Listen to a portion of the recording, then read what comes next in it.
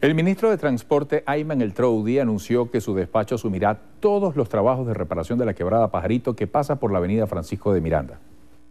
Vamos a hacer una intervención estructural que garantice la corrección definitiva de esta perturbación que tenemos acá a nivel de la quebrada. Vamos a sanear toda esta área de forma completa y luego vamos a rellenar eh, lo que haya que rellenar y restituir toda la capa de rodamiento para garantizar décadas de funcionamiento. Estos trabajos estimamos de manera teórica van a demorar de entre un mes y medio a dos meses y no tenemos claramente definido si la perturbación con el cierre de la vía va a ser parcial o total. Eso dependerá de los avances que en sitio vayamos haciendo.